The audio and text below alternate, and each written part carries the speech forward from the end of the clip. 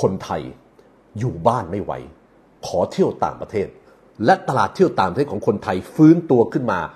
มากกว่าตอนก่อนเกิดโควิด ถือว่าฟื้นร้อยเปอร์เซ็นต์แล้วนะครับท่านผู้ชมครับ การเลือกไปเที่ยวก็ถือว่าเป็นจุดหนึ่งที่ทำให้ตัวเราไปพบกับประสบการณ์ใหม่พักผ่อนหย่อนใจทำงานมาทั้งปีให้กับรางวัลของชีวิตไม่ว่าจะเป็นเที่ยวในประเทศหรือต่างประเทศก็ตามนะครับ แต่ที่นี้ทั่วโลกกับคนไทยก็เที่ยวไม่ได้ในช่วงตั้งแต่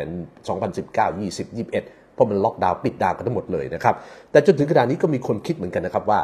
เมื่อไหร่ที่ตลาดท่องเที่ยวคนไทยไปต่างประเทศเนี่ยมันจะฟื้นตัวขึ้นมาครบร้อยเปอร์เซ็นต์คือสามารถฟื้นได้เท่ากับก่อนเกิดโควิด -19 ปรากฏว่าเกิดขึ้นในปี 2566 หรือ 67 นี่แหละครับ ใช้เวลาเท่าไหร่ทราบไหมฮะ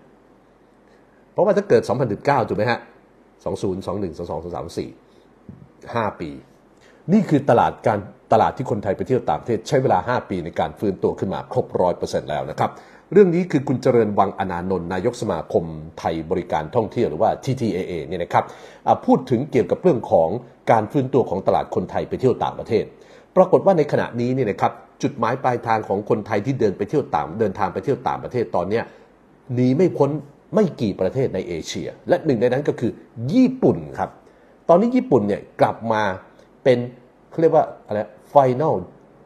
tourist destination อันดับหนึ่งในใจของคนไทย ผมถึงถามท่านผู้ชมไปเมื่อสักครู่ ว่าถ้าท่านผู้ชมอยากไปเที่ยวต่างประเทศในช่วงเทศกาลปีใหม่นี้ ระหว่างญี่ปุ่นกับเกาหลีท่านผู้ชมเลือกประเทศไหน ถ้าเลือกญี่ปุ่นเลือกก็ส่งญี่ปุ่นมาเลยนะครับ ถ้าเลือกเกาหลีก็พิมพ์เกาหลีแล้วส่งมาเลยนะฮะคุณเจริญวังอนานนท์นายกสมาคมไทยบริการท่องเที่ยว TTAA บอกอย่างนี้นะครับว่าในช่วงเทศกาลปีใหม่ 2567 เนี่ยนะฮะคนไทยเลือกไปเที่ยวญี่ปุ่นเป็นอันดับหนึ่ง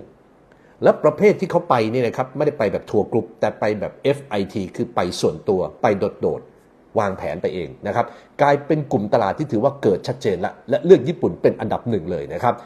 สำหรับประเทศอันดับ 2 ที่คนไทยเลือกไปเที่ยวในช่วงปีใหม่เนี่ยก็คือจีนแผ่นดินใหญ่โอ้กลับไม่ใช่เกาหลีใต้ครับดังนั้นที่เราชอบซีรีส์เกาหลีใต้ชอบนักร้องเกาหลีใต้นี่นะฮะแต่กลายเป็นจีนแผ่นดินใหญ่นะครับเนื่องจากว่าอะไรทราบไหมครับก็เพราะว่าจีนแผ่นดินใหญ่เนี่ยใช้การโปรโมทการท่องเที่ยว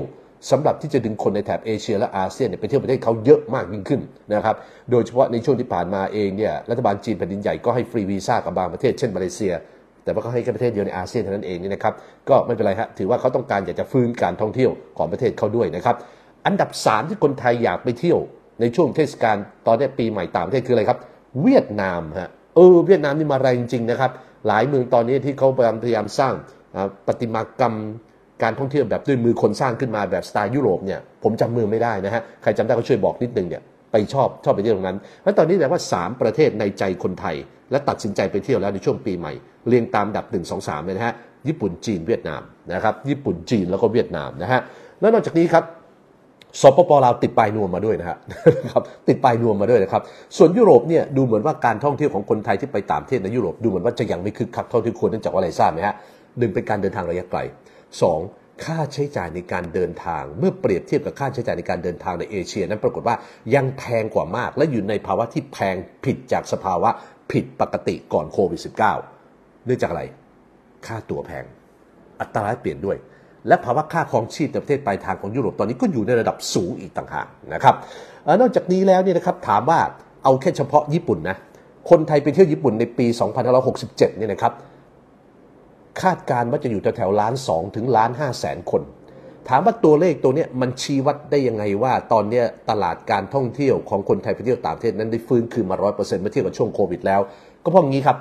ก่อนโควิดนี่นะฮะคนไทยไปเที่ยวญี่ปุ่นเนี่ยนะครับหนึ่งล้านสามแสนคนในปี 2562 แต่ในขณะนี้และปีหน้าจะกลายเป็น1ล้าน2แสนถึง1ล้าน5แสนคน เพราะฉะนั้นนี่คือตัวเลขและเหตุผลที่ยืนยันชัดเจนครับว่า คนไทยเลือกญี่ปุ่น และเที่ยวตามประเทศในญี่ปุ่นจนกระทั่งฟื้นตัวครบร้อยเปอร์เซ็นต์เหมือนอย่างก่อนโควิดเรียบร้อยแล้วนะครับสิ่งสำคัญที่สุดเนี่ยนะครับก็คือว่าญี่ปุ่นเองเป็นการเดินทางที่อยู่ใกล้ตัวครับ แล้วก็ค่าใช้จ่ายอะไรต่างๆ ค่าโซหุยต่างๆเนี่ยนะครับก็ปรากฏว่าไม่ได้แพงนะครับอยู่ยาอะไรต่างๆ ก็เดินทางแล้วก็รู้สึกว่าปลอดภัยสบายใจได้นะครับ ก็เลยทำให้ตอนนี้มีคนประเมินกันนะครับว่าไปเที่ยวญี่ปุ่นเนี่ยดูจะสะดวกอย่างมากๆนะครับ ผมเลยถามท่านผู้ชมนะครับว่า ถ้าเลือกได้นะระหว่างเที่ยวญี่ปุ่นกับเที่ยวเกาหลีใต้ ในช่วงเทศกาลปีใหม่ 67 เนี่ยท่านผู้ชมเลือกไปประเทศไหนมากกว่ากัน ใครเลือกญี่ปุ่นพิมพ์ญี่ปุ่น ใครเลือกเกาหลีพิมพ์เกาหลีนะครับ ทีนี้ถ้าหากว่าดูจากพฤติกรรมความชอบในการเที่ยวอย่างนี้แล้วเนี่ยนะครับ ก็เลยทำให้การท่องเที่ยวของประเทศญี่ปุ่นในปี 67 เนี่ยนะครับ จะกลายเป็น ประเทศอันดับต้นๆของคนไทยที่ไปเที่ยวเนี่ยได้อย่างยั่งยืนแน่นอนหรือไม่อย่างไร อันนี้ก็ต้องมาดูกันนะครับ เพราะว่ามันก็มีหลายปัจจัยที่ต้องดูหนึ่งไม่พบเกี่ยวกับเรื่องโรคระบาดต่อไปในอนาคต 2 เรื่องข้อจำกัดการเดินทางต่างๆ โดยเฉพาะอย่างยิ่ง ค่าตั๋วโดยสารเครื่องบิน ยังเป็นประเด็นอยู่นะฮะจริงๆ ต้องยอมรับครับว่าตอนนี้ที่คนไทยไปเที่ยวญี่ปุ่นเนี่ยค่าใช้จ่ายก็ไม่ได้ถูกลงนะครับแล้วก็ไม่ได้ถูกเหมือนก่อนโควิดซะด้วยซ้ำไป ยังเป็นค่าใช้จ่ายเมื่อเทียบกันแล้วอาจจะแพงกว่าซะด้วยซ้ำไป เมื่อเทียบกับก่อนโควิดนะครับก็เลยทำให้ตอนนี้ทุกคนกำลังมองครับว่าเรื่องของการเดินทางตรงนี้จะเป็นอย่างไรกันบ้างนะครับ